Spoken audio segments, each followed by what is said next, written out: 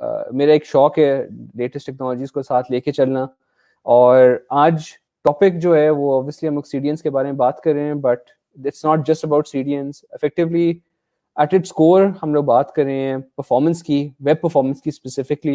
And उसके around काफ़ी सारी चीज़ें आएँगी, हम काफ़ी सारी चीज़ों को टच करेंगे and will be discussing a lot of the things as we go along over the next thirty minutes और सो तो इंट्रोडक्शन हो गया था but just very quickly again मेरा नाम मशहूद है and I lead the engineering team at Sasta Ticket dot P K Sasta Ticket is a travel platform जहाँ पे हम लोग online air tickets hotels visas वगैरह सारा कुछ लेके आ रहे हैं आहिस्ता आहिस्ता so if you haven't check it out please check it out besides my uh, full-time job i am also an active community member. I am speaking at a lot of events running communities python karachi docker karachi. Karachi में रहता हूँ तो वहाँ की जितनी भी communities उनके साथ interaction रहता है।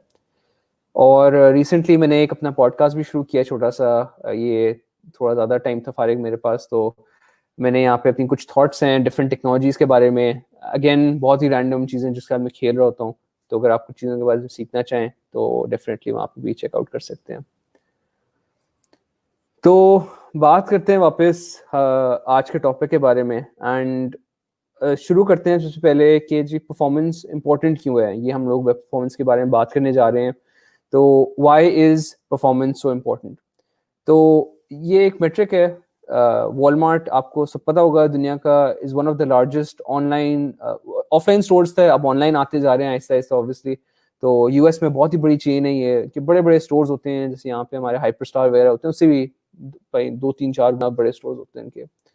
तो ऑनलाइन उन्होंने जब मेज़रमेंट की, इन्होंने एक्सपेरिमेंट रन किया अपनी वेबसाइट पे तो उनको पता चला कि जब उन्होंने अपनी वेबसाइट को एक सेकंड तेज किया ना, उनको हर एक सेकंड के बाद दो परसेंट कन्वर्जन इंक्रीज मिला। कन्वर्जन जिनको नहीं अंडरस्टैंडिंग इस टर्मिनोलॉजी की कन्वर्जन होती है कि जब कोई बायर आता है वेबसाइट पे, और वो कुछ चीज़ खरीद लेता है, ठीक है? जब वो खरीदता है तो हम कहते हैं जी कन्वर्ट हो गया कन्वर्जन हो गई है। और एक कन्वर्जन को दो परसेंट से इंक्रीज करना बहुत बड़ी बात होती है। इसका मतलब है आपने दो परसेंट अपना रेवेन्यू बढ़ा लिया है, क्योंकि दो परसेंट कन्वर्जन इंक्रीज हो गई है। तो एज यू कैन सी कि ये एक छोटा सा मेट्रिक है, इसको थोड़ा सा और अगर आगे लेके चलें तो ये मैंने एक डायग्राम उठाई है क्लाउडफेयर की अपनी वेबसाइट से। And as you can see here जो हमारे बेसिक एजेंडा है दैट्स टॉकिंग अबाउट कि जैसे आपकी वेबसाइट स्लो होती जाती है आपका कन्वर्जन रेट गिरना शुरू हो जाता है राइट तो दिस इज़ सुपर डेंजरस क्योंकि आप, इसका मतलब पैसे लूज कर रहे हैं। ये सारे यूज़र्स जो आपके वेबसाइट पे आते हैं, वो आते हैं, वो वेबसाइट लोड नहीं हो रही स्लो चल रही है पेज लोड नहीं हो रहा इमेज लोड नहीं हो रही, ठीक है प्राइस लोड नहीं हो रही, नज़र नहीं आ रहा। ये सारी वजुहत हैं जिनके ऊपर यूज़र आके देखते हैं, वो कहते हैं, यार, ये तो एक्सपीरियंस इतना खराब है, आगे जाके क्या होगा? मैं तो यहीं पे बंद कर देता हूँ उसको राइट सो ये lose a lot of users if you are not very performant आपकी वेबसाइट के ऊपर। तो और यहाँ पे this is just a glimpse कि आप कितनी तेज़ी से अपने यूज़र्स को लूज कर सकते हैं। तो ये हमारी बड़ी अच्छी अंडरस्टैंडिंग है और इसी वजह से आप देखेंगे कि एस e के ऊपर बड़ा इम्पैक्ट पड़ता है। Google is very conscious about this कि आपकी परफॉर्मेंस अच्छी नहीं है तो आपका एस e पे भी अलग से इम्पैक्ट पड़ता है राइट तो uh, ये सारी चीज़ें जिनको हम लोग लेके चल रहे होते हैं किसी भी एक पॉइंट पे and we trying to understand कि यार ये uh, जो वेब परफॉर्मेंस की जो साइड है how do we understand this and how do we crack this essentially मगर अब मसला ये है कि वेब परफॉर्मेंस की जो फ़ील्ड है ना दिस इज़ नॉट ईजी मैं खुद I have been making website for over fifteen years now मैं बच्चा था स्कूल के अंदर जब मैं शुरू की थी websites banana. And I am very meticulous जब मैं वेबसाइट बनाने जाता हूँ मैं देखता हूँ यहाँ से एक एक चीज़ का पता हो कि कहाँ पे क्या जा रही है और क्या हो रहा है। तो आज जो हम लोग चीज़ों के बारे में बात करेंगे। They are not your conventional things normally अगर हम वेब परफॉर्मेंस के बारे में बात करेंगे तो आपको सुनने में आएगा कि जी बंडल साइज़ बहुत बड़ा है बंडल साइज़ छोटा कर लें, या वो फाइलों को जिप कर लें, या मिनिफाई कर लें, इस तरह की चीज़ों के बारे में सुनने को मिलेगा। Which are all good they are all important आपको वो करने ज़रूरी है। मगर मैंने आज थोड़ी डिफरेंट एंगल से बात करनी है। और वो एंगल थोड़ा इस तरह से है कि वो कुछ ऐसी चीज़ें भी हैं जिनके बारे में हम नहीं सोच रहे होते, और उनका काफ़ी बड़ा इम्पैक्ट होता है हमारी वेबसाइट के ऊपर। And how can I take this these things first understand them और फिर इसके अराउंड सोल्यूशन क्रिएट कर सकूँ, जिनसे मैं अपनी परफॉर्मेंस को, अपनी वेबसाइट्स को मैं परफॉर्मेंट कर सकूँ। तो let's start and start understanding about कि ये क्या चीज़ें हैं कुछ जिनसे मेरी परफॉर्मेंस इफ़ेक्ट हो सकती है वेबसाइट की। सबसे पहली जो चीज़ मैंने आज बात करनी है दैट इज़ कॉल्ड कैशिंग अब caching it's not again first thing as front end developers I hope यहाँ पे हमारे पास फ्रंट एंड डेवलपर्स देख रहे हो या जो वेब में नए आए हों, वो देख रहे हो। And caching is not something we think about पहले। हम कहते हैं कि जी कैशिंग तो ब्राउज़र कर ही लेता होगा। But caching is something that needs to be उसके लिए अराउंड स्ट्रेटजीज क्रिएट होती हैं कि जी, आपने किस तरह अपने, अपनी वेबसाइट को कैश करना है। अब इंपॉर्टेंट चीज़ ये है कि शायद कैशिंग जो है ना, वो किक इन करती है पहली दफ़ा लोडिंग पे नहीं बट दूसरी दफ़ा से राइट कि पहली दफ़ा लोडिंग पे तो उतना टाइम लगेगा जितना लगेगा। मगर जब दूसरी दफ़ा यूज़र आपकी वेबसाइट को खोलेगा तो वो कैश से सर्व हो सकती है और उससे काफ़ी बड़ा इम्पैक्ट पड़ सकता है। मगर कैशिंग में जो सबसे इंपॉर्टेंट चीज़ है, जो मैं हाईलाइट करना चाह रहा हूँ और जो आजकल सबसे ज़्यादा इंपॉर्टेंट है, वो है हमारा सर्विस वर्कर और सर्विस वर्कर से आप लोगों ने सुना होगा एक टर्म है पीडब्ल्यूए के नाम से। इसको प्रोग्रेस प्रोग्रेसिव वेब एप्स कहते हैं हम लोग। एंड प्रोग्रेसिव वेब एप्स के जो कोर है, वो सर्विस वर्कर पे बैठता है। एंड एक जो बहुत बड़ा मसला है हमारे पास आजकल के, हमारी सारी जो दुनिया है, वो मोबाइल पे मूव हो गई है। एंड कनेक्टिविटी के इश्यूज़ हैं कनेक्टिविटी कभी तेज है, कभी स्लो है एंड इस तरह के इश्यूज़ आ रहे हैं, कभी ऑफलाइन हो गए राइट तो ये सारा कुछ जो है, ये हमारा सर्विस वर्कर संभालता है। एंड इट इंश्योर्स एक जो बड़ा अच्छा फीचर है, जो मैं खुद बड़ा यूज़ करता हूँ हमारे सिस्टर टिकट की वेबसाइट भी यूज़ करती है is called background updation caching में एक बड़ा मसला है कि अच्छा जी, मैंने वेबसाइट अपडेट कर ली, अब यूज़र के पास कैश है, उसके पास पुरानी चीज़ नज़र आ रही है। दैट्स अ ह्यूज प्रॉब्लम तो सर्विस वर्कर के अंदर उसमें डिफरेंट स्ट्रेटजीज बनाई हुई हैं कि आपने किस तरह अपडेट करना है। और इसमें एक स्ट्रेटजी ये होती है कि मैं यूज़र को पहले पुरानी साइट दिखाऊँगा और फिर मैं बैकग्राउंड में डाउनलोड कर लूँगा नई वाली वेबसाइट और जैसे ही यूज़र कोई दूसरे पेज पे जाएगा या रीलोड करेगा तो मैं उसको नई वाली वेबसाइट दिखा दूँगा। तो इस तरह की बड़ी सारी चीज़ें आपने आजकल देखा भी होगा डिफरेंट आपसे करते भी हैं। मैसेंजर के ऊपर या व्हाट्सएप के ऊपर जी न्यू वर्जन अवेलेबल क्लिक करें तो वो रिलोड हो जाता है आपका। तो इस तरह करके हमारे पास अब बहुत सारी डिफरेंट स्ट्रैटेजीज आ गई हैं। तो caching was the first thing we wanted to start off with the next thing is server latency अब सर्वर लेटेंसी होती क्या है? पहले let's let's talk about that and server latency is got to do with networking जब हम लोग internet को इस्तेमाल कर रहे होते हैं तो इंटरनेट इटसेल्फ इज़ नेटवर्क है। उसके ऊपर रिक्वेस्ट आती हैं और जाती हैं राइट तारे हैं, बीच में केबल्स हैं, हमारे पास सैटेलाइट कनेक्शंस हैं हब्स हैं राउटर्स हैं, सारा कुछ है। तो ये कोई मैजिक नहीं है कि मैंने यहाँ पे ब्राउज़र पे कोई चीज़ डाल के एंटर की तो वो एक सर्वर से उठ के एकदम से आ गई right there is going be a cost incurred between the server and the browser तो एसेंशियली जो सर्वर uh, लेटेंसी है उसको हम लोग सबसे अच्छी तरह समझ सकते हैं इस डायग्राम के साथ। तो जो कॉस्ट है एक रिक्वेस्ट की to go all the way to my server जहाँ पे वेबसाइट पड़ी हुई है और वहाँ से एक रिसोर्स लेके आने की। वो जो टाइम लगता है उसको जाने और आने में उसको हम लोग लेटेंसी कहते हैं। अब ये डिपेंड करता है कि सर्वर मेरा कहाँ पे सिचुएटेड है। तो जब मैं होस्टिंग करता हूँ तो मेरे पास ऑप्शन होते हैं। ज़्यादातर आप देखेंगे होस्टिंग के ऑप्शन आते हैं। यूएस में सर्वर होता है, या जर्मनी में होता है सिंगापुर में होता है डिफरेंट डिफरेंट जगहों पर होता है। पाकिस्तान में भी हो सकता है। अब यू नीड टू इंश्योर कि आपका जो सर्वर है, वो आपके यूज़र्स के करीब हो राइट right? तो जितना करीब होगा, उतनी लेटेंसी कम होगी। That is one aspect of latency जहाँ पे इम्पैक्ट पड़ता है। और भी इम्पैक्ट हो सकते हैं। जैसे फॉर एग्ज़ाम्पल अगर वो किसी खराब मोबाइल नेटवर्क पे है तो वैसे आपकी लेटेंसी स्लो हो सकती है। मगर ये एक चीज़ है जो हमारे कंट्रोल में है तो उसको हम लोग चाहेंगे कि हम उसको मिनिमाइज करें। तो अगर मेरे सारे यूज़र बेस पाकिस्तान में बैठे है तो I want to make sure कि मेरा सर्वर पाकिस्तान में हो या पाकिस्तान से बहुत करीब में हो। और नंबर्स बहुत छोटे हैं, ये अगर आपका सर्वर पाकिस्तान में है या करीब में है तो वो 50 मिली सेकेंड या 10 मिली सेकेंड या 30 मिली सेकेंड में होगा। अगर वो यूएस में पड़ा है तो वो शायद 100 डेढ़ सौ, दो सौ मिली सेकेंड अगर बहुत ज़्यादा हो, चार सौ, पाँच सौ मिली सेकेंड हो सकता है। मगर हम लोग आगे देखेंगे कि ये छोटे छोटे मिली सेकेंड्स हैं और ये एकदम से एडअप होते हैं आपको पता चलता है कि तो उसके बारे में हमें थोड़ा बड़ा ख्याल रखना होता है। एक और जो चीज़ है बड़ी इंपॉर्टेंट है, जिसके बारे में हम आज डिस्कस करने हैं that is time to first byte time to first byte एक मेट्रिक है, जिसको हम लोग मेजर करते हैं फॉर वेबसाइट परफॉर्मेंस एंड ये पूरे मेट्रिक का जो मकसद है, वो ये है कि ये मेजर करे कि मैंने एक रिक्वेस्ट की है और लेटेंसी हटा के जो टाइम लगा है सर्वर को रिस्पॉन्ड करने में तो सर्वर को रिस्पॉन्ड करने में टाइम क्यों लगेगा? सर्वर एक रिक्वेस्ट लेगा लेट्स से मैंने एक सीएसएस की फ़ाइल मांगी थी उससे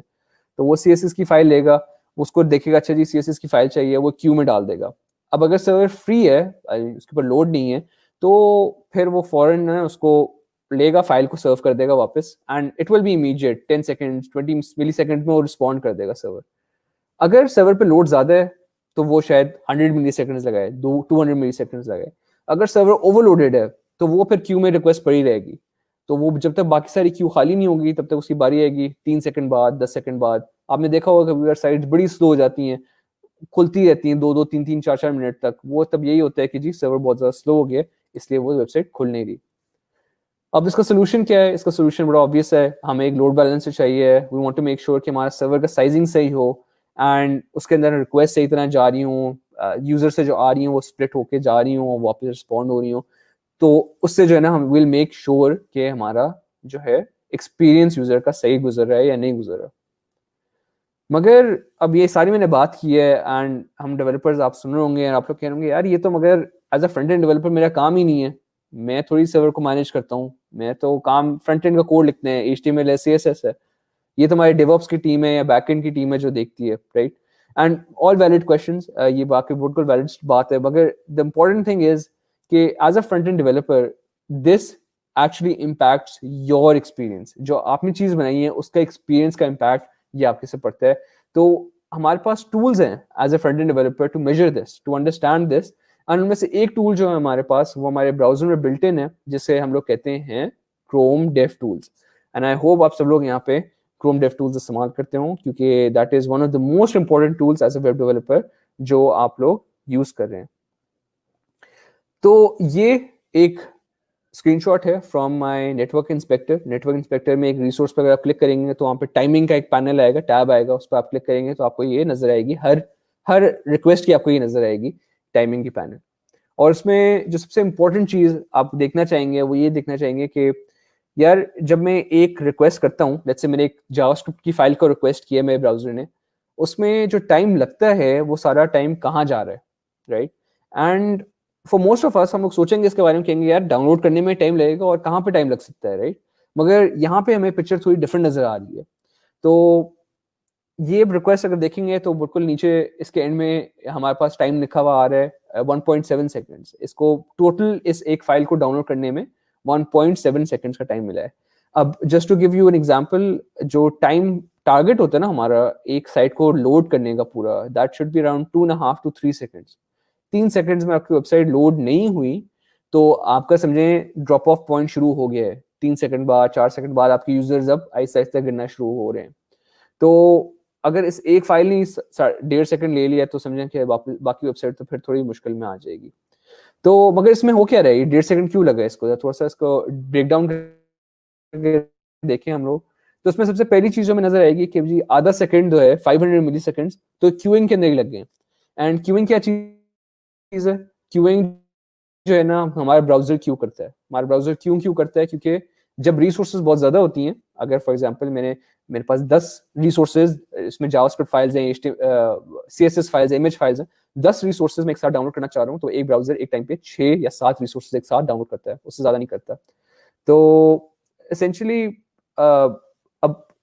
बाकी जो सारी हैं वो क्यू में लग जाएँगी, और जब उनकी बात आएगी तो वो जो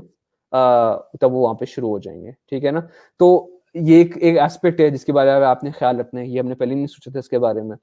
इसके बाद हमारा सेक्शन आता है जो ऑरेंज लाइन है और पर्पल लाइन है। ये सारी लेटेंसी दिखा रही है, ठीक है जी? इसके अंदर आप देखेंगे कि ऑलमोस्ट हमारे 500 मिली सेकेंड आधा सेकंड और चला गया इसमें। अब अगर मैं सर्वर को थोड़ा करीब ले आऊँ, इसकी ऑप्टिमाइजेशन कर लूँ तो इसमें भी मेरा फ़ायदा हो सकता है, इसमें भी मेरा इम्पैक्ट काफ़ी बढ़ सकता है। So that's also something interesting और आखिरी वाला जो है, उसमें हमारे पास टाइम टू फ़र्स्ट बाइट भी नज़र आ रहा है और आप देख रहे हैं उसमें 200 मिली सेकेंड्स लगे हैं मेरे सर्वर को रिस्पॉन्ड करने में। तो maybe I can optimise that little bit more bring it down to 50 milliseconds maybe वहाँ पे अपॉर्चुनिटीज़ हैं, मैं अपने अपने कोलीग्स के साथ डिस्कस कर सकता हूँ। और फिर बिल्कुल ही आखिरी में हमारे पास है एक्चुअली कंटेंट डाउनलोड का टाइम विच इज़ आप देखेंगे बहुत ही मामूली सा टाइम है। 200 मिली सेकंड्स को टोटल लगे, मगर हमारी टोटल रिक्वेस्ट जो है that is 1.7 milliseconds right so that's a very huge difference तो ये एक बड़ा अच्छा टूल है for all of you guys to understand और मैं और भी अभी एक और टूल के बारे में बात करूँगा बाद में but this is a very good tool for starting off and getting a very complete picture for each request कि वहाँ पे कहाँ पे ये बॉटल नेक्स बन रहे तो मैंने काफ़ी सारी चीज़ों के बारे में बात की है। अब इन सारे प्रॉब्लम्स के बारे में बात की है मैंने कि हमारे पास ये लोडिंग के इश्यूज़ हैं और कैशिंग के इश्यूज़ हैं और सर्वर लेटेंसीज के इश्यूज़ हैं। इनका सोल्यूशन क्या है? इनका एक सोल्यूशन जो काफ़ी कॉमन है आप, आप लोग तो, लोग इस्तेमाल भी करते होंगे that is called content delivery network अब एन हमारे बात शुरू हुई थी और बार भाई ने थोड़ा सा एक्सप्लेन भी कर दिया था। होता क्या है एक सी डी एसेंशली एक सर्विस होती है जिसके अंदर एसेंशली हमारे पास वो उस सर्विस के बहुत सारे सर्वर्स होते हैं पूरी दुनिया में फैले हुए होते हैं। और वो आपका एक सर्वर होता है जिसको ये लोग ओरिजिन सर्वर कहते हैं। और वो ओरिजिन सर्वर से आपसे फ़ाइल कॉपियाँ करके अपने आ, अपने सर्वर पे कॉपी कर लेते हैं जिनको ये लोग एज सर्वर कहते हैं एज नोड्स कहते हैं इनको। और जब यूज़र मांगते हैं तो क्योंकि वो एज के अंदर होती है एज के पास होती है यूज़र के बहुत करीब होता है तो वो उसको फॉरन सर्व कर देता है। उसमें कोई लोड का इशू नहीं आता, कुछ वो लोड को खुद मैनेज कर रहा होता है। तो बड़ी आइडियल सी सिचुएशन हो जाती है वहाँ पे, जिसमें ये आपके यूज़र को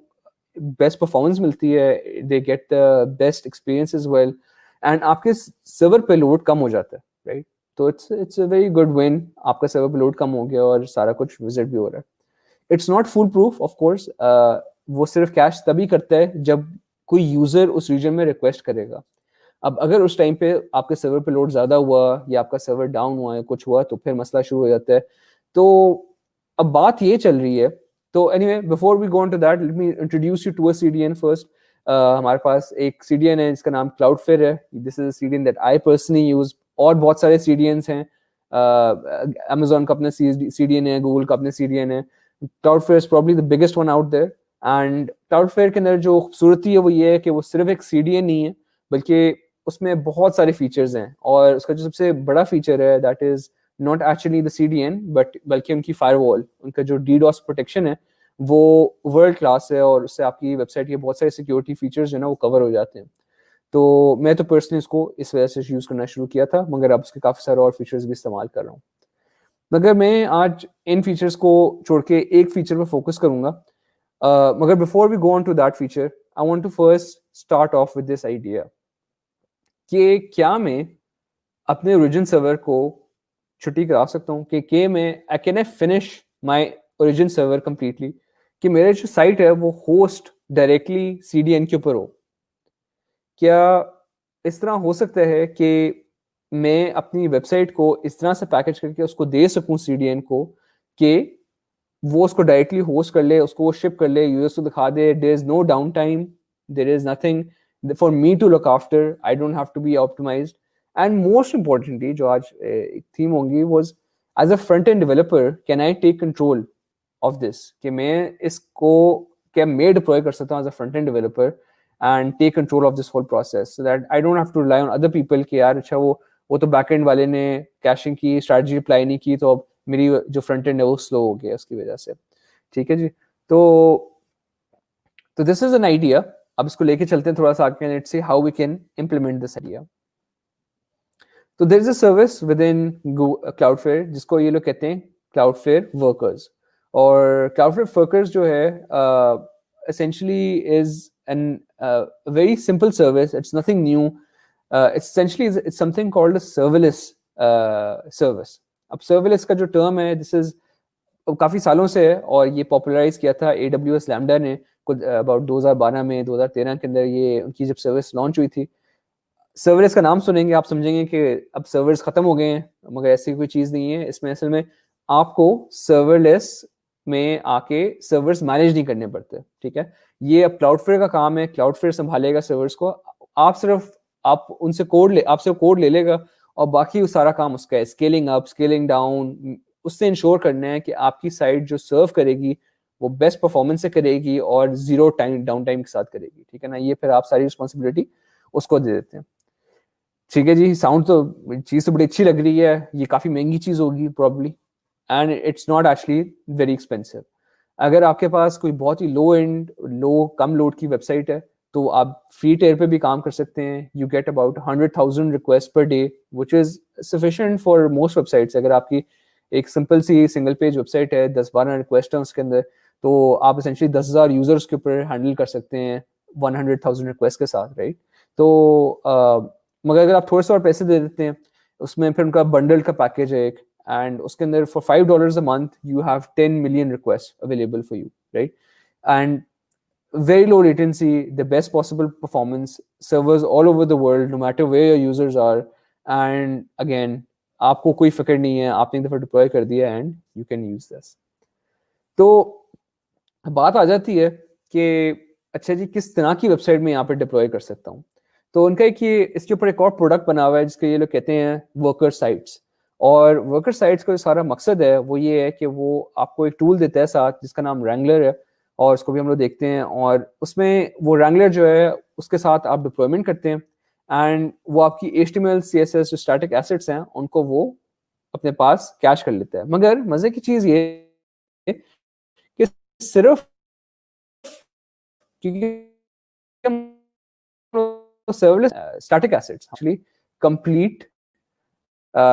dynamic implementation भी है हमारे पास uh, हम लोग पूरे एपीआई लिख सकते हैं इसके ऊपर जावास्क्रिप्ट के ऊपर और वो भी शिप कर सकते हैं फ्रंट एंड डेवलपर्स राइट अब एपीआई क्यों चाहिए होगा हमें? कोई का डायनामिक चीज़ आ जाती है जैसे फॉर्म सबमिशन करना है मैंने कॉन्टैक्ट फॉर्म को सबमिट करना है मुझे कोई बैकएंड पे कोड रन करना है अब उसके लिए मुझे एक बैकएंड डेवलपर चाहिए कुछ चाहिए कुछ नहीं चाहिए मैं एक स्क्रिप्ट रन करूँगा इसमें ऐड करूँगा और वो भी रन हो जाएगा ठीक है? बाकी सारी चीज़ों की हमने बारे बात की है हम लोगों ने बात की है कि हमें बहुत अच्छी परफॉर्मेंस मिलती है इसके अंदर फिर हम लोग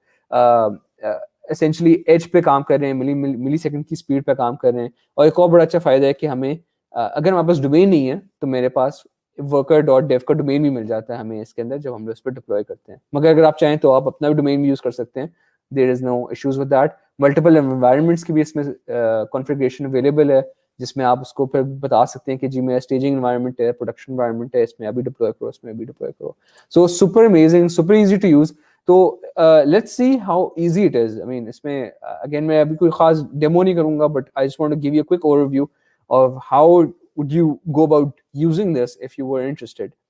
before I go on to this essentially मैंने एक जो चीज़ और इस पे यहाँ पे पॉइंट पे बात करनी है वो ये है कि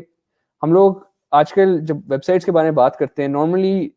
अगर हम over the last ten years बात करते हैं तो WordPress becomes like a standard choice कि जी वेबसाइट है तो वर्ड प्रेस की बात चल रही है। नाउ uh, जो इस अब सेक्शन में होंगे दे अंडरस्टैंड कि there has been a trend that is shifting away from WordPress इसको हम लोग जैम स्टैक कहते हैं। और Jamstack is using technologies like Next J S और गैट्सबी की तरह की इस तरह की चीज़ें यूज़ कर रहे हैं।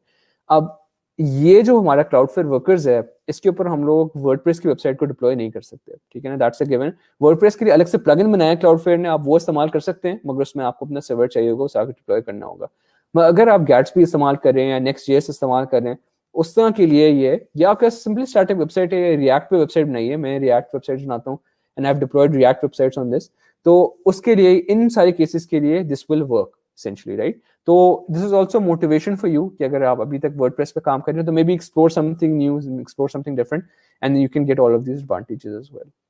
तो अगर आपने कोई टेस्ट साइट खड़ी करनी है, जल्दी से फ्री है, कोई पैसे भी नहीं है इसके तो आप जल्दी से जाके अपना अकाउंट बनाए और उसके बाद जो है ना, आप एसेंशली जाके कुछ स्टेप्स फॉलो कर सकते हैं। इसके लिए आपको अपने कंप्यूटर पे नोट जे इंस्टॉल करना होगा पहले। एक दफ़ा आपका नोट जे इंस्टॉल हो गया तो आप फिर ये कमांड रन कर सकते हैं। ये रैंगलर एक टूल है, जो क्लाउड ने बनाया है, और इससे जो है ना, हम लोग चीज़ों को शिप कर सकते हैं एसेंशली इससे वो सारा कुछ मैनेज करता है अपने आप को।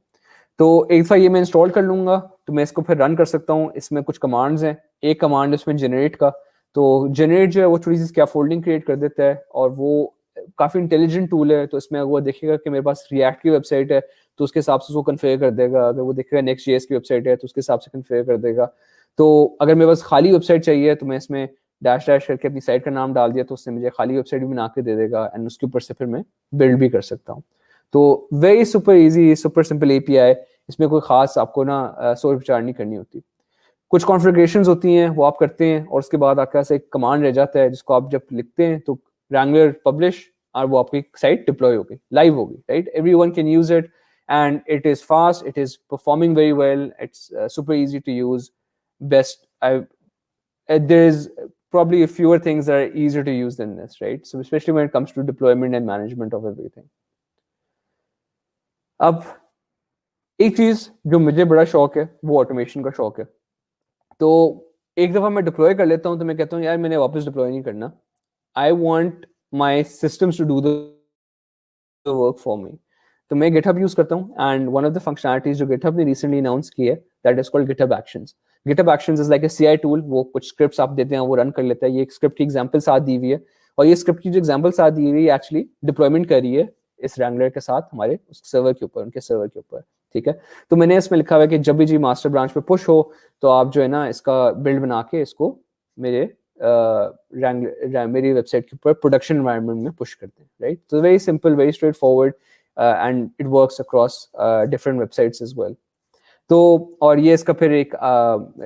मैंने जल्दी से स्क्रीनशॉट भी आप लोगों को दिखा दिया है जिसमें जो वो रन होता है गिटहब के अंदर तो आप जाके देख सकते हैं कि उसके एक एक स्टेप रन हो रहे हैं और इनमें जब सारा कुछ कंप्लीट हो जाता है तो डिप्लॉयमेंट कंप्लीट हो गई है। And this is super powerful like I shown you इसमें अब मेरे पास not only as a front end developer I can deploy websites I can control the flow I can create that process मुझे किसी का wait नहीं करना कि अच्छा जी वो बैक एंड डिप्लॉय करेगा तो फिर मैं जाके चेक करूँगा। I can just keep pushing stuff और वो जो है ना मेरी चीज़ें डिप्लॉय होती जाएँगी राइट इसी तरह मैं हर ब्रांच पे एक अलग एनवायरनमेंट सेट कर सकता हूँ। डेवलप ब्रांच पे मैं स्टेजिंग का एनवायरनमेंट सेट कर दूँ मास्टर ब्रांच पे प्रोडक्शन का एनवायरनमेंट सेट कर दूँ and so on so forth and it all works fine अब हमारी वेबसाइट डिप्लॉय हो गई है but we are still not done because जब हम परफॉर्मेंस की बात कर रहे होते हैं तो परफॉर्मेंस में measurement is one of the most important things अब मेजर करने के बहुत सारे टूल्स हैं out there I am sure you guys all using that your things मगर जो एक टूल है, जो गूगल खुद आजकल रिकमेंड करता है that is called Lighthouse and Lighthouse is again something built in to your browser it is built in to your Chrome dev tools अगर आपने क्रोम डेव टूल्स को खोलें तो आपको वहाँ पे एक टैब नज़र आएगा लाइट हाउस का। और वो कुछ इस तरह का दिखता है। तो ये मैंने एक स्क्रीनशॉट लिया अपने ब्राउज़र की। इसमें मैंने एक, वहाँ पे वो कहते हैं रन ऑडिट आप उसको ऑडिट को रन करेंगे तो आपको एक रिपोर्ट जनरेट करके दे देगा और ये इस तरह की रिपोर्ट लगती है। तो ये मैंने अपनी वेबसाइट पर रन किया है और आप देख सकते हैं कि मेरी वेबसाइट पर बड़ा अच्छा स्कोर आ रहा है almost hundred percent across the board तो और फिर इसी तरह वो नीचे आपको रिकमेंडेशन भी देते हैं, वो आपको बताते हैं कि अच्छा जी, आप ये चीज़ें इंप्रूव कर सकते हैं अपनी वेबसाइट में और उससे जो है ना आपका स्कोर और बेहतर हो सकता है। तो बहुत सारी इसमें इंफॉर्मेशन होती है और मेरा जो फेवरेट पार्ट है कि आप इसके अंदर एक डिटेल रिपोर्ट खोल सकते हैं, जिसमें आपको एक एक चीज़ जो है नज़र आ रही है एक एक रिक्वेस्ट नज़र आ रही है, वो बता रहे हैं कि कहाँ पे जीपीयू इस्तेमाल हो रहा है, कहाँ पे स्क्रिप्ट रन हो रही है, कहाँ पे आपके फ्रेम्स पर सेकंड ड्रॉप हो रहे हैं। तो इतनी अच्छी कंप्लीट पिक्चर आपको कम ही टूल्स हैं जो देंगे और ये आपके ब्राउज़र के अंदर बिल्ट इन है। हर जो भी क्रोम यूज़ कर रहा है, उसके साथ ये ऑलरेडी बिल्ट इन है और ये आप किसी भी वेबसाइट पर रन कर सकते हैं। तो not only for your website but you can compare others websites as well कि यार ये बाकी लोग किस तरह कर रहे हैं। कि जो मेरी वेबसाइट पे वो इम्पैक्ट नहीं आ रहा राइट और इसमें आपको just to quickly show you कि आप, मैंने बात की थी कि सिर्फ़ छः या सात रिक्वेस्ट यूज़ होती हैं तो आप देख सकते हैं कि इस स्क्रीनशॉट में भी छः रिक्वेस्ट पहले लोड हुई हैं, उसके बाद फिर बाकी सारी टिपर करके बाकी रिक्वेस्ट डाउनलोड हुई हैं। तो ये ये रिपोर्ट जो है एसेंशली इसका जो बेसिस है, ये किस तरह स्कोर कैलकुलेट कर रहा है, ये क्या चीज़ें देख रहा है this is essentially backed by something called core web vitals अगर हम लोग आज परफॉर्मेंस की बात करें या यूएक्स की बात करें तो core web vitals is essentially the standard that Google is bringing in इसके अंदर बहुत सारी छोटी छोटी चीज़ें जैसे अगर हम लोग परफॉर्मेंस की बात करें तो एक ये भी सवाल हमेशा उठता था कि यार आ, मैंने परफॉर्मेंस जो मेजर करनी है वो कब से कब तक करनी है? कि जब मेरी वेबसाइट की लोडिंग शुरू हो जाए जब मुझे कुछ नज़र आ जाए जब मेरा लोडर बाहर रुक जाए लोड होना राइट ये छोटी छोटी चीज़ें इनको भी डिस्क्राइब करना होता है। वट आर द रिकमेंडेशन ठीक है ना, यहाँ पे आपको नज़र आ रहा है कि रिकमेंडेशन क्या है। गूगल कहता है कि आपकी साइट को टू एंड हाफ़ सेकंड्स के अंदर अंदर लोड होने हैं in order to score a good score अगर two and half to four seconds के अंदर है then you have a okay score you need improvement four seconds ऊपर हैं तो you have a poor score right और ये फ्रॉम एन एस परस्पेक्टिव से भी है बट मोर इम्पोर्टेंटली गूगल का जो ज़्यादातर मकसद होता है इनके साथ, वो होता है कि यूज़र एक्सपीरियंस के लिहाज से बात हो रही है। और ये बाकी मेट्रिक्स हैं जैसे ये भी हम एल के बारे में बात करें largest contentful paint focused on performance इसी तरह एफ़ है फ़र्स्ट इनपुट डिले एंड इसके अंदर जो इफेक्टिवली uh, बात हो रही है दैट इज़ अबाउट इंटरक्टिविटी कि किस तरह हम उन्होंने इंटरेक्ट करना है और सारा कुछ जो है यूज़र uh, को डिलेस तो नहीं आ रहे कहीं ब्राउज़र फंस तो नहीं रहा एंड इसी तरह कंटेंट लेआउट शिफ्ट है, आखिरी मेट्रिक जिसमें वो बात कर रहे होते हैं कि हमारे पास इमेजेस लोड होती हैं एड्स आते हैं, सारा कुछ आता है तो उससे फिर यूज़र का एक्सपीरियंस सारा हिल जाता है स्पेशली मोबाइल पे, जगह कम होती है ना तो हमारी स्क्रीन सारी ऊपर नीचे हो जाती है। तो ये सारा कुछ हो रहा है या नहीं हो रहा, कितना हो रहा है we are measuring all of this and giving you report in Lighthouse to give you complete picture कि आपकी वेबसाइट किस तरह परफॉर्म कर रही है।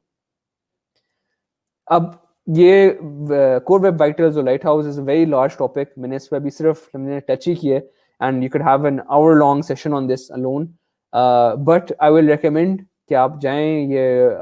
वेब डॉट डेव की वेबसाइट है। दिस इज़ एक्सलेंट रिसोर्स इसके ऊपर बहुत सारे टॉपिक्स हैं specially around website performance and UX को किस तरह मेजर करने हैं कोर वेब वाइटल्स को किस तरह मेजर करते हैं किस तरह कैलकुलेट होते हैं स्कोर्स किस तरह आप उनको इम्प्रूव कर सकते हैं। So this is my personally one of my favourite resources out there right now and I would definitely recommend कि आप सब लोग उसको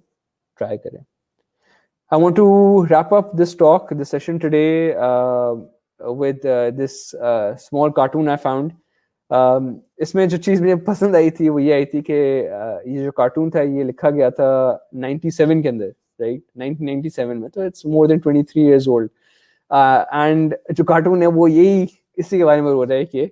जो हमारी वेबसाइट की परफॉर्मेंस है वो बहुत ख़राब है। तो this is not a new problem and this is not something that's gonna go away very soon but I think as front end developers ये हमारा बड़ा इंपॉर्टेंट काम है कि we are this is something we focus on and I feel most of us don't focus enough on this हम लोग लगे होते हैं कि जी एनिमेशन होनी चाहिए, जी, खूबसूरत लगनी चाहिए, ये होना चाहिए, वो होना चाहिए स्लाइडर होने चाहिए। बट परफॉर्मेंस की जब बात आती है तो we are not only zero in looking after it we are zero in our knowledge is well हमें पता ही नहीं होता कि what are the protocols what are the things to think about how do you optimise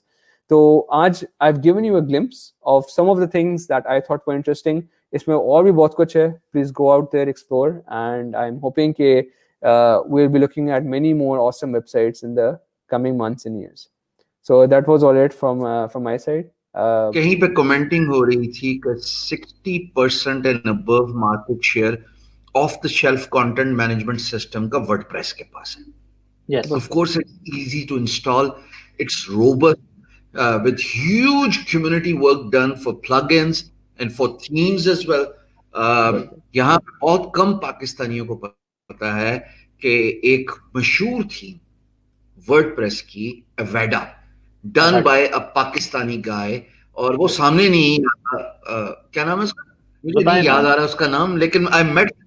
I met the guy in 2014 I believe at TEDx Islamabad और वो सामने नहीं आ रहा था and he was internet millionaire in 2014 in dollar in dollar of course यार internet पे तो फिर डॉलर की बात होती है ना पाँच रुपीस की थोड़ी बात होती है so actually he actually sat next to me and somebody introduced me to I think Mohammad Zeeshan if my memory serves me well so Avada मैंने पूछा तुमने सीन पे क्यों काम किया? कहता है देखिए जी आने वाले वक्त में ना लोगों के पास वेबसाइट्स डिप्लॉय करने के लिए टाइम नहीं होना। उन्होंने प्लग इन प्ले करना है थीम इंस्टॉल करनी है और उसके बाद that's it of you goes Haris Mohammad Haris there you go Inamul Haq Mansoor. Thank you for putting me correct मैं नाम भूल गया था क्योंकि इट्स बीन 6 इयर्स तो मैंने- भी ले लें हाँ, मैं एक सेकंड के लिए। तो मैंने बात को जोड़ना है मुझे। तो मैंने पूछा कि ये वर्डप्रेस क्यों? कहता है इसके अंदर इतना काम हुआ कि लोग इसको इंटरनेट सेवी सर्च इंजन फ्रेंडली बनाने में बहुत काम करेंगे। And we see the plugins such as Cloudflare आराम से इंटीग्रेट हो सर हो गया। We see plugins as robust as search engine के जो भी आप नाम लें all in one SEO pack या योस्ट की बात करें और दुनिया. वाकई सब में जा रही है कि अगर चार सेकंड में साइट नहीं लोड होती your competitor will take over sir एक सवाल है आपके लिए। और सवाल ये है कि what are the security risk to बहुत अच्छा सवाल है। तो एसेंशली अगर हम लोग क्लाउड फ्लेयर स्पेसिफिकली की बात करें तो there is no direct security risk for using a C D N at the end जो कोड है, वो आपका अपना रन हो रहा है। तो अगर आपने अपने कोड को सही तरह लिखा हुआ है, आपने उसके अंदर अपनी सारी चीज़ें केटर फॉर की हुई हैं then you will not be impacted by it there is no additional risk that is added by using a CDN, right? Because वो essentially आपके डोमेन नेम सर्वर को टेक ओवर कर लेता है और वो डायरेक्टली सर्व उसके थ्रू करता है आपकी वेबसाइट को so as long as you writing good code you should be in good hands Wonderful. So as long as you are writing good code, Mashood bhai, since I still have you here, by referring to good code, आपका मतलब है जरूरत से ज्यादा लाइनें ना लिखना, to the point रख के बांधना कोड को अपने. नहीं नहीं एसेंशियली हम सिक्योरिटी की बात कर रहे हैं तो सिक्योरिटी के अंदर आपको पता है कि स्पेशली जब हम लोग वेब एप्स की बात कर रहे होते हैं तो there few things that you have to look out for हमारे पास सर्वर साइड स्क्रिप्टिंग है एक्सरसाइज उस तरह की चीज़ें होती हैं। तो we want to make sure कि हम लोग ने उन चीज़ों के बारे में सोचा हुआ है सारी चीज़ें कन्फिगर्ड हैं, जो अब जैसे हेडर्स की बात है हेडर्स एक्सप्लॉइट होते हैं कभी कभार हमारे तो इस तरह की चीज़ें Cloudflare has got you covered on मगर ये, अगर आपके कोड की कोई चीज़ है तो वो आपको अपने ध्यान रखते हैं। बाकी जो बाकी सिक्योरिटी की चीज़ें हैं वो हमारी सी देख रहे होते हैं normally wonderful since I still have you एक आखिरी वर्ड सर लोगों को कन्विंस करें to learn the importance of CDN ताकि बहुत सारे फ्रीलांसर्स आपको देख रहे हैं। इस वक्त चौरानवे बंदा आपको दुनिया से देख रहा है हिंदुस्तान पाकिस्तान और पता नहीं कहाँ कहाँ से। भाई कोड लिंक में बता दें कमेंट्स में बता दें कहाँ कहाँ से आप देख रहे हैं। तो जरा चूँकि ये इंपॉर्टेंट है everybody wants to become a web developer but pays attention to the importance of these networks the, you know तो थोड़ा सा इस पे थोड़ा सा जरा हाईलाइट करें कि क्यों ज़रूरी है ये। हाँ तो effectively at the end of the day like जैसे आप कह रहे हैं कि अब इतने सारे लोग आ रहे हैं वेब डेवलपमेंट के अंदर right and everybody starts off with HTML CSS one of the biggest challenges of the web ecosystem is कि ये इतना बड़ा है और इस, इस, इतनी तेज़ी से चेंज हो रहा होता है हर वक्त कि ज़्यादातर लोग जो है ना वो बेचारे इसी में पड़े होते हैं कि अच्छा हाँ यार मैंने वो लेटेस्ट लाइब्रेरी इस्तेमाल कर ली है बूस्ट्रा फोर आ गया बूस्ट्रा फाइव आ गया ये आ गया वो आ गया। कि it's sometimes very hard to also think about these things right तो असेंशली मकसद यही होता है कि आपने उनको डायरेक्शन थोड़ी सी देनी है। आप कह रहे हैं हाँ यार, ये देखो, आप जो बाकी सारा काम करो रिस्पॉन्सिवनेस है मोबाइल है पी डब्ल्यू एज हैं सारा कुछ है and you have to learn all this and you have to understand all this मगर this is also an important part of the picture that we need to work on, ठीक है? तो तो that's essentially the the thing और इसमें again performance is just one side of things हमने core web vitals की बात की, उसमें और बहुत सारी चीज़ें आ जाती हैं, जिसमें इंटरेक्टिविटी आ जाती है, उसके अंदर आप जाना चाहें तो एक पूरी अपनी कहानी है। सो one important thing that remains is that you have to remain curious right you have to constantly see कि अच्छा हाँ यार मैं किस तरह बेहतर कर सकता हूँ अपने आप को किस तरह बेहतर कर सकता हूँ अपनी वेबसाइट को if you're doing that then i think you're on the right path wonderful एक सवाल है बॉस अगर मैं आपको ज्यादा तंग नहीं कर रहा तो not at all not at all आप इसको रीड कर लें और जवाब दे दें अच्छा जी क्वेश्चन है कि can we run third party scripts on cdn cache instead of a distinct origin server so that dynamic content can be generated delivered from a cache. Uh, इसका जवाब है yes you can. Essentially जब हम लोग serverless code की बात कर रहे हैं तो जैसे मैंने बात की थी इसके अंदर कि सर्वर इसके अंदर यू राइट द कोड और इसके अंदर आप थर्ड पार्टी स्क्रिप्ट को भी इंक्लूड कर सकते हैं और उनको आप बंडल करके शिप कर सकते हैं क्लाउडफ्लेयर के पास. एंड वो फिर जैसे बैकएंड पे कोड रन हो रहा होता है बैकएंड की लाइब्रेरीज रन होती होती हैं you have a few languages you can work with note JavaScript is the most popular option तो आप उसको जावास्क्रिप्ट की लाइब्रेरीज को इंक्लूड करें अपने बैकएंड साइड पे और जिस तरह भी आप चाहें उसको uh, करके आप रन कर सकते हैं डिफरेंट डिफरेंट फंक्शनलिटीज को एसेंशियली उसके ऊपर। One on a screen. अच्छा जी अगला सवाल है हमारे पास is it important that CDN must adopt edge includes markup language to speed up dynamic pages or adopt cloudflare workers? uh, अच्छा सवाल है ये भी essentially uh, now you like I've said कि अब हमारी जो वेब की जो स्पेस है, ये बहुत वाइड है। इसमें इतनी सारी चीज़ें हैं कि एक बंदा जो ना कभी भी सारी चीज़ों को कवर नहीं कर सकता। एंड इसमें, ये हमारे पास दो डिफरेंट स्ट्रेटजीज हैं। Edge side includes obviously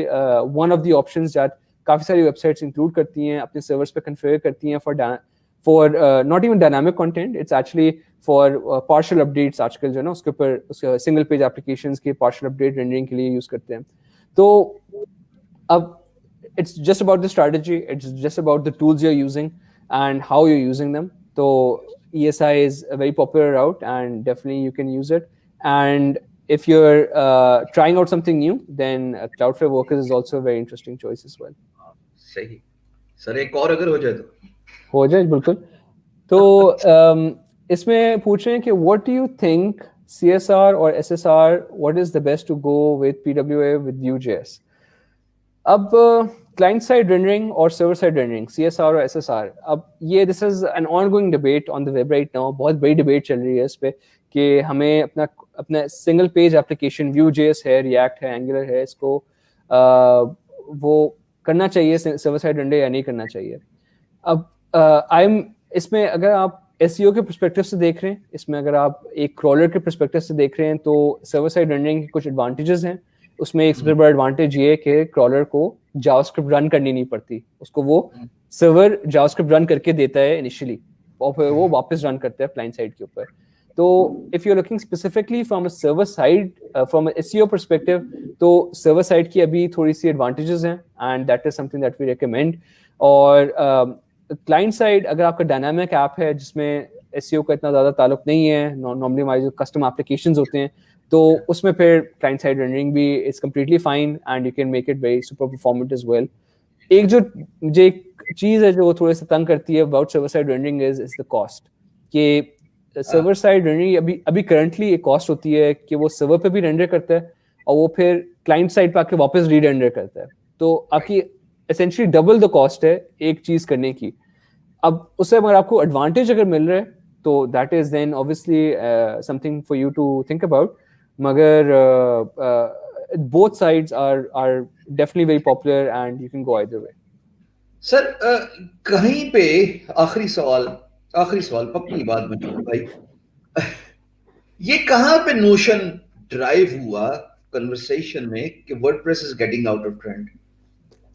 हाँ तो I don't think WordPress is getting out of trend मगर अब जो चीज़ हुई है that is that there are other things people are experimenting with and those other things are getting popular इसका मतलब ये बिल्कुल नहीं है कि WordPress is getting out of trend तो उसमें जामस्टैक की मैंने बात की थी अपने टॉक में तो Jamstack is getting very popular उसके पीछे बहुत बड़ी मूवमेंट चल पड़ी है और बहुत सारे लोग उसको अडॉप्ट कर रहे हैं और इस्तेमाल कर रहे हैं और काफ़ी मज़ा आ रहा है। uh, तो and that is something to look out for कि इसका मतलब ये नहीं कि आप वर्डप्रेस छोड़ देंगे मगर it is also important to understand कि उसका क्या फ़ायदे हैं, उसमें क्या चीज़ें डिफरेंट हैं और नेक्स्ट जेएस और गैट्सबी की जो जैसे फ्रेमवर्क्स हैं, ये क्या ऑफ़र कर रहे हैं जो शायद वर्डप्रेस ना ऑफ़र कर सकता हो? तो और इसके अराउंड बहुत बड़े इकोसिस्टम्स हैं and I I recommend people exploring those and trying them out और क्लाउडफेयर एसेंशियली उनके साथ ज़्यादा कंपैटिबल है when it comes to Cloudflare workers उनके बारे में हम आज आज बात करें